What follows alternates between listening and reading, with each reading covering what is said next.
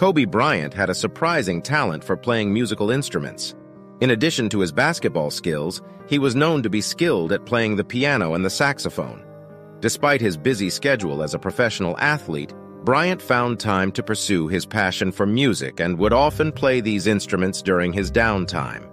This hidden talent showcased his multifaceted nature and added another layer of depth to his already impressive repertoire of skills. Whether it was dominating on the court or creating beautiful melodies, Kobe Bryant was a true Renaissance man.